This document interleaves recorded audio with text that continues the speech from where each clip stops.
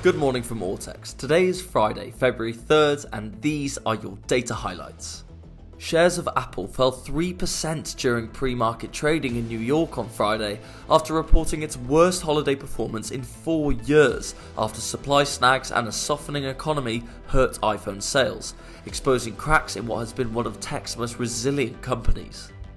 Revenue fell 5.5% to $117.2 billion in the December quarter, Apple's biggest sales period of the year, coming in well short of the average Wall Street estimate of $121.1 billion.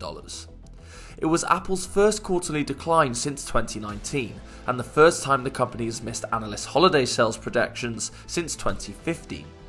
Analysts have stayed mostly on the fence, with the consensus target price only marginally falling by 20 cents to $167.89.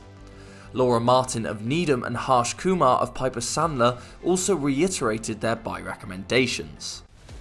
Another tech giant, Amazon, reported revenue that missed the street's expectations, saying consumer demand remains soft and sales in its lucrative cloud computing division will continue to slow through the year.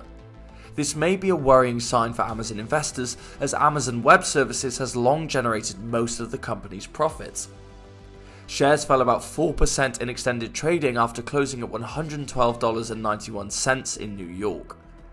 Analysts do not appear concerned, however, with Ross Sandler of Barclays and Thomas Champion of Piper Sandler both increasing their target prices, whilst Laura Martin of Needham also reiterated her buy recommendation.